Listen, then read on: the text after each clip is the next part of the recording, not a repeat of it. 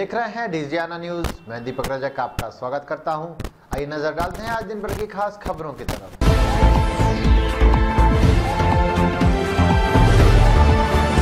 Smack का दाना है कि पैर पसारे ही जा रहा है।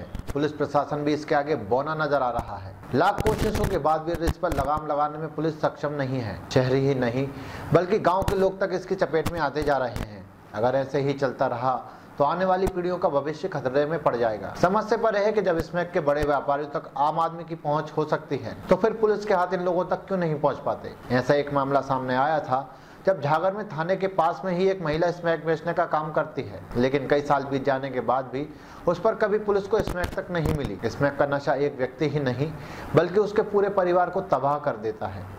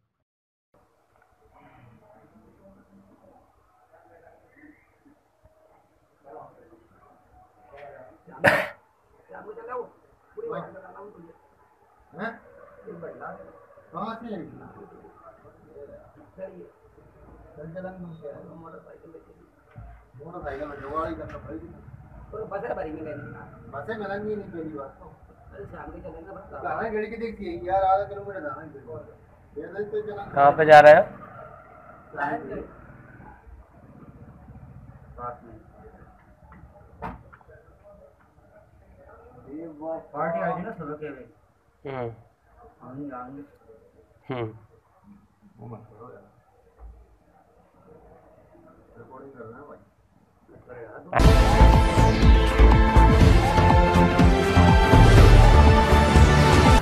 मंडल द्वारा शास्त्री पार्क में विगत कई दिनों से रामलीला का मंचन किया जा रहा था, जिसका समापन हो गया। समापन के मौके पर सभी कलाकारों का सम्मान किया गया, साथ ही भंडारे का आयोजन भी किया गया। बता दें कि लगातार बासठ वर्षों से सब्ज़ी मंडी में रामलीला का मंचन शहर के कलाकारों द्वारा किया जा रहा है। यहाँ सभी कलाकार निःशुल्क अपनी कला का प्रदर्शन करते हैं।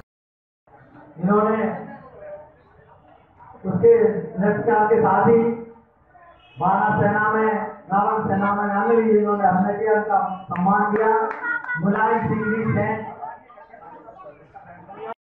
तो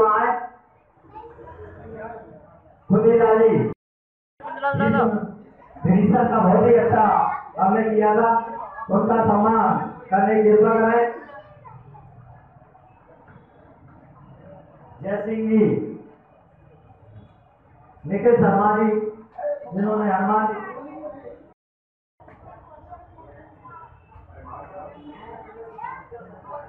आज हमारी जाति समिति समिति का और जाति दशहरा पर्व समिति का समापन दिवस पूर्ण आहुति हो चुकी है।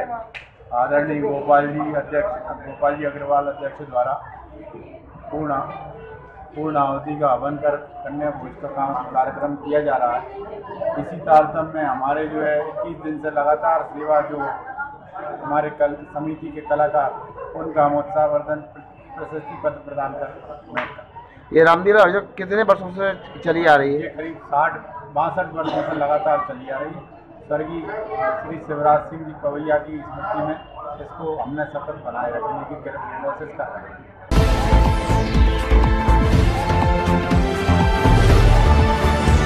राशन की मांग को लेकर ग्रामीण पहुँचे कलेक्ट्रेट कार्यालय। आपको बता दें कि लहरकोटा में नवीन कंट्रोल खुली है, जिस पर ग्राम पंचायत लहरकोटा के ग्रामीणों को राशन मिलना था। लेकिन पूर्व में इस पंचायत का राशन भदौरा स्थित कंट्रोल पर मिलता था।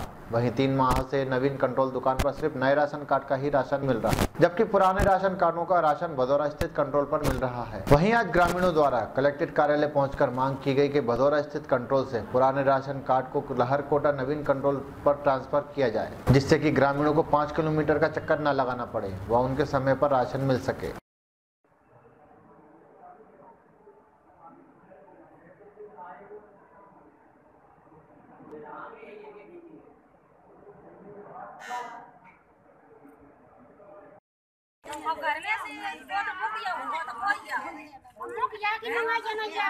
दुकान खुल चुकी है सर अपने यहाँ तो। अपने मंगा लाना तो। चाहिए लड़कों का दुकान में।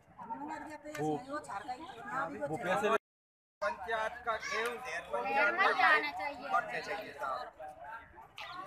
लहरकोटा पंचायत में दुकान खुल चुकी है लेकिन आशीष चतुर्वेदी फ़ूड इंस्पेक्टर साहब तीन महीने से उन्होंने मैपिंग नहीं की हमारे। इससे पाँच किलोमीटर दूर जाते हैं पैदल वहाँ रास्ते में वाहन भी आते हैं उससे दुर्घटना का भी खतरा रहता है। तो दुकान वहाँ पे खुल चुकी है फिर भी वहाँ पे माल नहीं पहुँच रहा। है और ये मैपिंग नहीं की आशीष चतुर्वेदी फ़ूड इंस्पेक्टर साहब। ने जो भी वो भदौरा वाला सेल्समैन है भदौरा से दुकान जो हमारी वाले हुई है उससे पैसे ले लेता है हर महीने वो पैसे दे देता है इसे वो मैपिंग नहीं करता। बोलता है स्टे है इस दुकान में तुम्हारा। हम जाते हैं जबकि फ़ूड में तो मुझे कहते हैं तुम्हारी दुकान में स्टे नहीं है कोई स्टे नहीं है। तो भदौरा में कौन है? है जिसका पूर्व में उसका विवाद हुआ था क्या कोई? पहले का। हाँ विवाद हुआ था विवाद हुआ था कब से नहीं मिला राशन नहीं नहीं तीन महीने से हमारा दुकान खुल चुकी है तीन महीने से तीन महीने से ही इन्वेस्टमेंट तो आज आप यहाँ पे किसको आवेदन देने हैं? कलेक्टर साहब को आवेदन देना दिया आवेदन?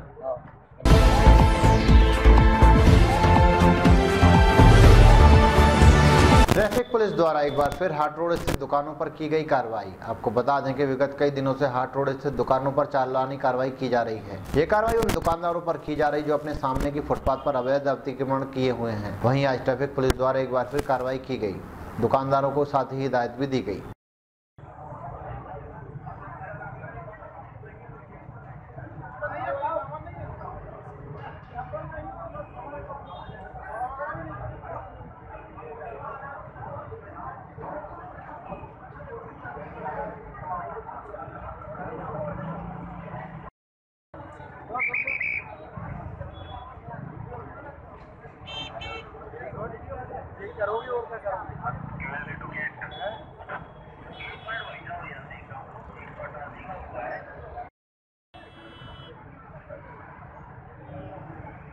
Thank God.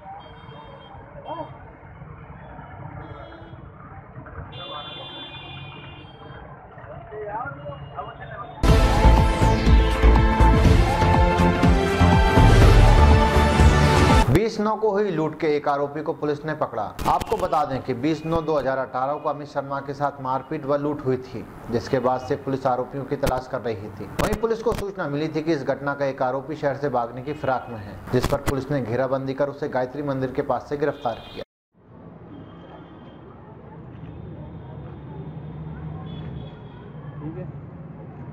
आओ, रुको रुको रुको। ले आओ तो आज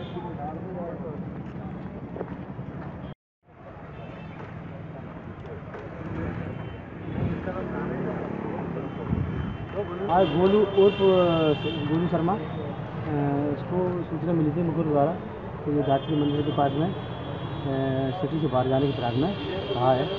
मुकुर की सूचना पर हमारा पोस्टरी में तत्काल पहुँचा वहाँ पर। तो उसको पकड़ा तो भागने की फिराक में था।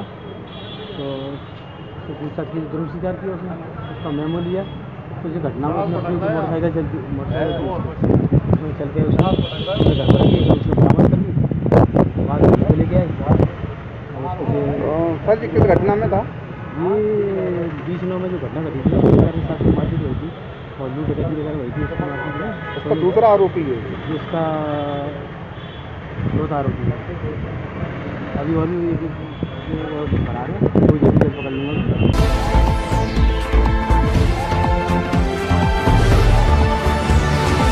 सिटी कोतवाली पुलिस ने पकड़े दो स्थायी वारंटी। दोनों के खिलाफ चार का केस दर्ज है। दस साल से फरार दोनों आरोपियों को होशंगाबाद ज़िले से पकड़ा गया। दोनों आरोपियों के नाम नर्मदा प्रसाद और रमाकांत बताया जा रहा है।